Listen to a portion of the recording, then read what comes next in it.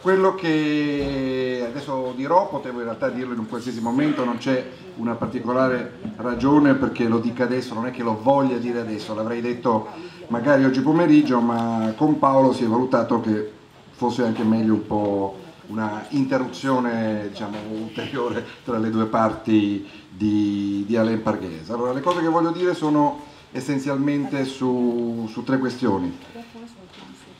La prima è che io sono molto contento di venire qui eh, a discutere con voi e eh, lo sono eh, ancora di più eh, perché lo faccio con Alain Parghese.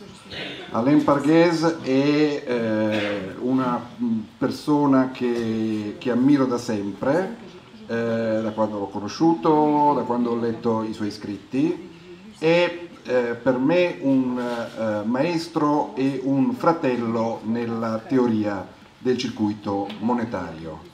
Eh, e so che sia lui che io, eh, pur con simpatia, abbiamo delle critiche, delle critiche comuni alla Modern Money Theory. Eh, e a me fa piacere che in questo contesto appunto due persone che non sono dei credenti della Modern Money Theory possano esprimere le loro, le loro idee. Eh, la seconda questione è relativa a quello che ha detto Paolo Barnard, eh, tra virgolette, sugli insulti. Eh, io posso, cioè, credo che sia bene non far finta di niente. Eh, e, è assolutamente vero che lui ieri a Bergamo, a un certo punto dove l'avevo invitato, questo poi magari eh, ne parleremo, lui eh, ha eh, a un certo punto eh, sostenuto che si è voltato verso di me e ha detto tu non fai parte della Modern Money Theory, no? perché se io fossi, avessi torto eh, avrei fatto male a insultarti pubblicamente come ho fatto. Io ho confermato che io ho, benché condivida presumibilmente l'80% della Modern Money Theory. Benché pensi che quelle proposizioni non siano così geniali e così specifiche alla Modern Money Theory, io ho dei dissensi e quindi non faccio parte della, della Modern Money Theory in questo senso e se dunque questo è argomento eh, per l'insulto, eh, beh li prendo con piacere. Eh, lui ha aggiunto un argomento, a questo argomento non risponderò, nel senso che lascio a voi eventualmente, oggi pomeriggio, domani, quando vorrete, di sollevarlo e vi dirò cosa penso, perché la risposta richiederebbe un attimo di tempo. Il suo ulteriore argomento è stato io ho insultato tutti questi economisti perché si sono critici ma in realtà non dicono mai che queste persone con nome e cognome non fanno solo delle politiche economiche sbagliate, ma sono dei criminali che devono andare in galera. Questo è quello che ricordo di ieri. Ehm, io però vi do una risposta, diciamo così, o gli do una risposta sugli insulti. L'ho anticipata ieri velocemente a, eh, a memoria. Eh, la risposta sugli insulti eh, in termini molto brevi è che io spero eh, che le sue analisi sul più grande crimine abbiano migliore eh, dire, documentazione sui fatti eh, di quello che io ho letto. Non, non mi era capitato, me, me l'hanno segnalato settimane, qualche settimana fa, molte settimane fa. Eh, l'insulto precedente che lui ha richiamato è questo parlando di Rimini ha detto, beh, noi abbiamo invitato cinque economisti giganti, mm? eh, questi cinque economisti giganti sono zeppi di colleghi italiani, quelli che regolarmente li inseguono ai convegni internazionali per farsi belli con loro, mm? cioè eccoci, ci considerate, io questo non rispondo, non mi sembra valga la pena, ma qui a Rimini i cinque giganti erano proprio lì, un salto in macchina per salutarli e magari prima dire anche ai loro studenti che questa è un'occasione da non perdere. Noi li abbiamo avvisati, sono venuti? No, neppure uno, ma nominiamoli, l'ordine non è alfabetico, al quarto posto ci sono io. Eh, tutti ammalati? Tutti di colpo all'estero per il weekend, ma possibile? Gli avevamo detto che i loro studenti entravano gratis, eccetera. Ora, io con i miei studenti, eh, benché non avessi in quel periodo insegnamento io, eh, scusatemi un secondo, benché non avessi insegnamento io, eh, sono andato in tutte e tre le aule, ho presentato la cosa, quindi da quel punto di vista non è un problema. Dopodiché, per non annoiarvi e per non farla lunga, ma ho le email, se volete ve le faccio, eh, io di Rimini ho saputo, perché ho chiesto io, gli ho detto guarda Alain Parghese mi ha det detto che viene in Italia, ma per cosa? Era metà, eh, metà gennaio o poco dopo.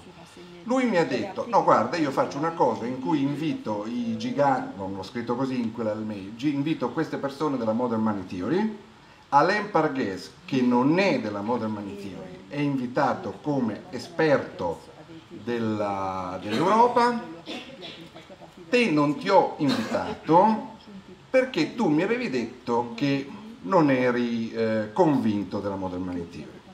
Io gli ho risposto, caro Paolo, io non ricordo cosa ti ho scritto, ma se quello che tu hai in mente è una modern, cioè credere nella modern money theory fino alle virgole, hai perfettamente ragione. Io non sono un credente, io discendo da Marx, dalla teoria del circuito e da Minsky. Ho molti punti di contatto con la modern money theory, ma non... Al che lui mi ha replicato molto sensatamente, no guarda, io sono per l'apertura, eh, e non per la chiusura. E io sono qui. Eh, gli ho anche detto che non potevo venire a Rimini, anche se volevo, perché quella settimana, e l'avevo dovuto mettere da tempo in quella settimana, perché c'era l'interruzione dell'insegnamento e ho problemi di schiena abbastanza seri, dovevo essere all'estero per salute. E non ce la facevo, tornavo di fatto il sabato abbastanza, abbastanza tardi dal mio punto di vista, come dire, i fatti lui li ha sbagliati completamente. Spero che, eh, come dire, sul resto ci sia migliore, migliore documentazione. Eh, io ho invitato l'altro ieri eh, Parghesa a parlare dell'Europa, ieri eh, Paolo a parlare eh, del, del grande colpo di Stato finanziario e della Modern Money Theory, è iniziata alla fine nella discussione eh, un dibattito secondo me serio e da portare avanti sulle differenze di approccio tra teoria del circuito monetario e modern money theory eh, io credo che abbiano delle conseguenze anche in termini di politica economica di questo eh, si, deve, si, deve, discutere eh. io non ho paura del, del dissenso non ho paura dell'espressione, eh, come dire, anche di una critica eh, particolarmente, particolarmente, dura. Chiudo, eh, ripeto, sono poi dis disponibile a, a, rispondere più in dettaglio sull'accusa di codardia, perché non avrei detto, come, come gli altri economisti, che questa o quella persona deve andare in galera. Ehm, per quanto riguarda eh, oggi pomeriggio, eh, sì, quello che, che, che, vi anticipo è semplicemente questo. Eh, Paolo mi ha chiesto appunto di parlare della catastrofe della sinistra da Gramsci a eh, come sono finiti da Gramsci a Enrico Letta. Eh, io ho le mie idee, in parte stanno dentro a questi due libretti di cui vi parlerò oggi pomeriggio sulla crisi, oggi pomeriggio domani, insomma sulla crisi che ho, che ho pubblicato recentemente, quando li ho presentati sono stato molto rimproverato per un eccesso di polemica nei confronti dei, degli, altri, degli, altri, economisti della sinistra, non solo moderata ma anche radicale. Eh, io credo che per rispondere a quello che mi ha chiesto Paolo, se no non si capiscono le posizioni che io critico e i giudizi miei di forte critica, eh, io debba fare un quadro proprio molto schematico delle fasi dell'economia italiana dopo il 45. Non partirò da Gramsci perché quello sarebbe dire, complicare molto il quadro, partirò appunto dall'epoca di Togliatti, partirò dalla ricostruzione e cercherò di capire come i, eh, quel tipo di cultura sia finita predominantemente non in quello che io chiamo neoliberismo, ma in quello che io chiamo social liberismo, che è una cosa seria, ma completamente sbagliata e che ha creato disastri, eh, disastri non solo economici ma anche, ma anche, sociali. Ci sarebbe una terza parte, io non, non, non sono convinto di riuscire a farla, eh, bisognerebbe capire anche come mai siano finiti così male o siano stati completamente incapaci di capire cosa era il capitalismo e perché fosse andato in crisi e di fare proposte alternative, quella cultura e quegli economisti della sinistra che sono sempre stati polemici e critici nei confronti prima del Partito Comunista e poi adesso della cultura PDS, eh, DS, tutto quello che volete fino ad oggi. Eh, io credo che questo sia un tema molto rilevante, cioè non solo il fallimento del neoliberismo, non solo il fallimento del, del socialliberismo, ma il fallimento di questa cultura eh, economica confusa, impotente, eh, in, incapace di una, di, una, di una vera analisi, e però questo, se riesco dirò qualcosa, altrimenti ne riparleremo.